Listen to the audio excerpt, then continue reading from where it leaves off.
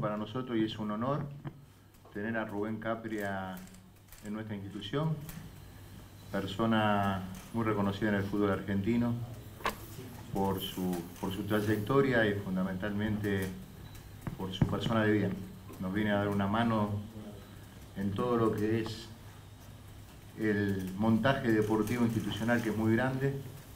Y bueno, eh, muy contento por la bienvenida que le hemos dado y muy contento por, el buen gesto de él a venir a acompañarnos. Eh, muchas gracias, Rubén. Buenas tardes, eh, la verdad que es un gusto, Nacho, gracias por la confianza. me genera una enorme ilusión volver al club después de 20 años.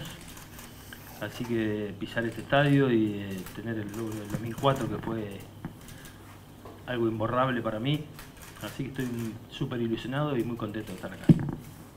En Rubén, acá a su izquierda, Gonzalo Calvigioni, Estadio 3 eh, de Cadena 3 Rosario, le quería dar la bienvenida. Eh, ¿Y cómo se dio y por qué se dio este regreso a la institución, esta vez como asesor deportivo? Bueno, cuando, cuando me surge la posibilidad que Nacho me llama, evalué y me parece que uno en la vida no debe haber peor cosa que arrepentirse de algo que no hace porque no se anima. Y me parece que era un desafío y me genera, como te decía, una enorme ilusión estar en el club. Eh, creo que tiene, tiene potencial, tiene un estilo, tiene una historia que la sentí cuando fui futbolista y considero que, que bueno, que tiene un legado, tiene una cuestión de su, de, su historia que, que a mí me gusta mucho, que tiene que ver con ese con ese estilo de fútbol, que es una de las canteras más importantes del fútbol argentino de la historia. Entonces, este, bueno, hay muchas cosas por hacer, pero hay que empezar con, pasos cortos, concretos y posibles. Así que la decisión de venir es el desafío de querer estar. el fútbol me apasiona y sinceramente me pareció que era una hermosa oportunidad de volver a trabajar y estar en, esta, en este rol que me gusta mucho. Rubén, bienvenido eh, nuevamente a Newells, Agustín Malvestiti para, para Red. Eh, preguntarte con qué te encontraste, porque mencionabas estos casi 20 años después de, lo que fue el título en, 2004, ¿con qué te encontraste en este Newells 20 años después? Gracias. Bueno, muy pronto para hacer un diagnóstico, que ello, de ello me voy a encargar en estos días. Eh, todos los, todas las instituciones tienen fortalezas, tienen debilidades, tienen cosas para mejorar eh, y me parece que sería muy apresurado de mi parte darte un diagnóstico definitivo ahora. En el transcurso de estos días vamos a ir trabajando en cada una de las áreas que componen a la institución, al fútbol profesional, a la cuestión informativa, a todas las áreas que componen el fútbol de, Newells. Y bueno, esa es la, la, tarea, que no es de un día para otro, por eso el diagnóstico no te lo puedo dar hoy, porque recién arribé a la institución ayer, a la ciudad, digamos, y hoy empezamos la gestión, así que estoy realmente contento, vengo, vengo del predio, que es impresionante lo que ha crecido, lo que ha mejorado en función a esos 20 años que pasaron. Eh, pero bueno, de alguna manera lo más importante es lo que es el contenido de todo este esta cuestión, ¿no? que es, el juego, es el fútbol, es, es que funcione la cuestión deportiva y de eso eh, el desafío está ahí.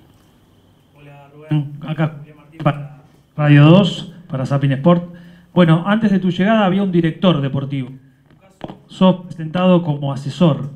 ¿Tiene que ver con que tu función va a estar más ligada en la primera división o, a, toda, a toda la institución? Y en ese sentido, si vas a tratar de aprovechar los días que quedan eh, en cuanto al mercado de pases. Bueno, por supuesto que estamos de cara a un partido importante que es mañana. Me parece que hay que tener la prudencia necesaria para algunas cuestiones pero la diferencia del título del rol de alguna manera es insignificante. A mí me parece que lo más importante es trabajar en todas las áreas que se puedan trabajar y, colaborar y ayudar y tratar de mejorar cada una. Siempre hay algo por mejorar, pero tanto el fútbol profesional como el fútbol formativo, como el fútbol infantil, hasta el mismo fútbol femenino, uno va a tratar de dar una mirada, eh, lo mejor de uno para, para que todo eso sea cada día mejor. Entonces, este, más allá del, rótulo, me parece lo más importante es la acción y es la gestión. ¿El mercado de pases? El mercado de pases, bueno, veremos cómo, cómo se dan estos días, que todavía hay alguna chance, pero me parece que no es en este momento, en función a lo reciente de mi llegada, me parece que en primer lugar hay que esperar el, partido mañana, a ver cómo se da y en función de eso iremos trabajando, pero no, no me parece que sea el lugar adecuado hoy para hablar de esta, de esta cuestión. Rubén. Sí. Rubén, hablaste recién de una mirada integral a lo que es todo el club. Eh, Newells desde el 2021 tuvo seis managers o directores deportivos, más allá de lo que es el rótulo, eh, gente que estuvo dentro de lo que es el armado y la planificación del fútbol profesional. ¿Cómo se puede planificar un proyecto sabiendo que lo que son los antecedentes eh, recientes marcan que hubo poca continuidad en, los, en tus antecesores, se podría decir? Bueno, no, no tengo información de qué es lo que pasó anteriormente. Lo que sí digo es que uno confía en el criterio para poder ayudar a la institución desde este rol. Me parece que es un rol, yo creo que los, los clubes tienen roles más y menos vistosos, no menos importantes. Entonces, este, esta hoja de ruta que se traza deportiva en una institución, por supuesto que uno no cree que va, a terminar rápido, pero sí tener claro que, se quiere. Estamos en, en torneo, entonces también no es que comienza de cero un ciclo, sino que es diagnosticar y es este, tratar de, ayudar a mejorar en cada una de las decisiones que toma el club, no solamente con el fútbol profesional, porque creo, considero que, el fútbol es, es una cosa integral.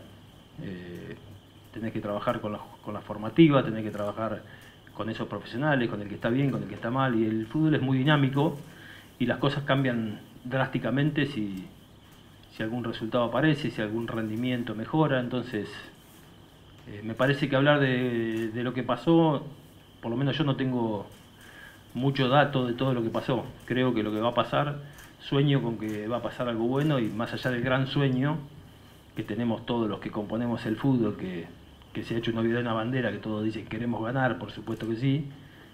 Lo importante es cómo hacerlo y, qué pasos vas dando para ir mejorando día a día. Rubén, eh, Hernán Cabrera para LT8 y, y Newell al Minuto. Eh, bueno, eh, ¿tuviste alguna charla con el gallego Méndez? Ayer charlábamos con él eh, y nos decía que, bueno, para definir muchas cosas necesitaba una reunión con, vos. ¿Y qué concepto tenés de él como, entrenador? Bueno, por supuesto que de cara al partido de mañana no hay mucha... Hay que tener esa prudencia para los momentos. Me parece que una vez que pase el partido estaremos reuniéndonos porque yo creo en la comunicación Hoy vivimos en una generación que hay mucha conexión, pero a veces no hay tanta comunicación. Y considero que tanto como los jugadores, como los entrenadores, con los entrenadores formativos, la comunicación para mí es vital. Me gusta ese mano a mano, me gusta mirar la cara a la gente, me gusta dejar el teléfono a un costado y hablar y, mirar eh, la cosa gestual. Entonces todo eso para mí es muy importante. Entonces eh, no te lo puedo decir ya que que hablamos, que no hablamos, cuándo hay que hablar. Me parece que hay que darle tiempo a los... Las prioridades está en el partido mañana. Entonces hoy los jugadores y el entrenador deben estar bien focalizados en ese partido y a partir de ahí reunirnos y hacerlo como vamos a hacer habitualmente. Se gane, se pierda, siempre hay algo por corregir, siempre hay algo por mejorar, potenciar, mejorar lo mejorado y lo que se pueda mejorar eh, todo el tiempo así, ¿no? buscar la superación, la evolución en todas las áreas. Rubén Francisco Escena para charla técnica. Primero que nada, bienvenido de nuevo a tu casa. Muchas gracias. Eh, en estas primeras horas, como asesor deportivo, ¿con qué te encontraste? ¿Tuviste la posibilidad de visitar el predio en Bellavista?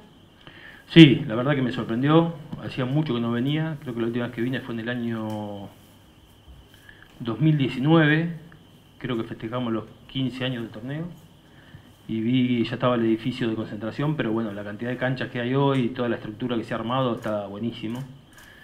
Eh, es muy importante tener esa infraestructura en los clubes, es muy importante. Eh, y la verdad que me pone contento porque eso es una garantía de tener el espacio para desarrollar. Así que después la, la cuestión, el recurso humano, todo eso es una cuestión que iremos evaluando, pero considero que hay gente capaz. Eh, y sobre todo, bueno, estoy feliz de de estar nuevamente acá. Tengo muy buenas sensaciones cuando entré al club, porque bueno, uno pasa bien en un lugar, eh, te genera lindos recuerdos, lindos momentos. Hoy le contaba a Nacho que, que mi hijo cuando nació Franco, el más grande, que tenía 18, 18 días después del campeonato conseguido en el 2004 nació Franco, mi hijo más grande, y hoy mide 1,97 m. Digo, me pasó el tiempo, así que lo miro, lo miro así, ¿viste? no puedo creer y, que el tiempo es muy vertiginoso en el fútbol, así que sinceramente estoy muy feliz de estar y, y de ser parte de este proceso. Después, los momentos cuando hay para entrar a ciertas estructuras y a las instituciones no siempre son los, los soñados. Lo importante es que uno aporte en ese, en ese engranaje, ser un eslabón para construir, para crecer y para mejorar todo. ¿En Rubén eh, va a contar con algún equipo de trabajo? Eh, primero estamos hablando de la cuestión del diagnóstico. Hay gente que está trabajando en el club y y por ahora me parece importante hablar con las personas que ya están trabajando en el club, porque uno, al menos yo no tengo esos prejuicios de, que porque estaba antes no debería estar. Me, parece que si es capaz es importante que, estén y en función de eso, en, la medida que se necesite, la idea es no malgastar recursos y sumar gente si realmente se necesita. Para muchas generaciones sos el futbolista campeón 2004, muchos te deben tener en ese póster. Y asumiendo este cargo, sabés que se pone un poco en riesgo eh, ese cariño según cómo, cómo van las cosas, te habrá pasado en Racing. ¿Es algo que pusiste en la balanza? ¿Cómo manejas esa situación? Mira, no, no le tengo miedo a eso para nada. A mí me gusta ser actor y no espectador.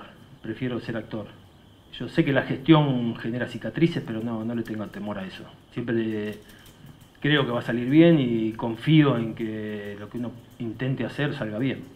Pero esto no es una cuestión individual, porque en el fútbol yo siempre digo que nos tenemos que acostumbrar a hablar en plural. Y yo voy a ser una parte de ese, engranaje.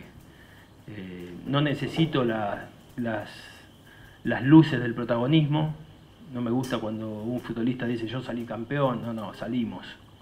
Y acá yo creo que tenemos que hablar siempre en plural y todas las cosas se consensúan. Lo importante es dar eh, letra, es, intentar buscar esos consensos para tomar la mejor decisión y achicar el margen de error. No quiere decir que no nos vayamos a equivocar. Lo importante es tener la buena fe, tener la honestidad, tener la nobleza de hacer el rol como debe hacerlo y porque tenemos un montón de emblemas dentro de esta institución que hablan de eso, ¿no? De la nobleza de los recursos utilizados, que me parece una frase que tenemos que llevarla a todos los que estamos en Newell grabada en la cabeza. Rubén, ¿cómo fue la, experiencia en Racing? Que, parte seguramente lo, lo podés implementar acá también, ¿no? Bueno, por supuesto que tiene, tuve tres años en la institución y es un muy buen know-how de, experiencia que me dio. Eh, por supuesto que cada, cada, club tiene sus particularidades, pero en líneas generales fue una, una enorme experiencia de aprendizaje, de gestión eh, y sinceramente me, fue capitalizando mucho porque uno va haciendo camino al andar y va aprendiendo un montón de cosas durante la gestión. Así que me veo mucho mejor hoy, mucho más aplomado y creo que este es un club donde el estilo de fútbol también está muy emparentado con lo que me ha gustado a mí históricamente y en, Racing anteriormente también intentamos llevar eh, esa idea de fútbol adelante. Salió para mí muy bien en muchos momentos. Y bueno, ojalá que podamos acá hacerlo mucho mejor todavía. Rubén, te quería consultar sobre el interés de Talleres por Juan El Colo Ramírez.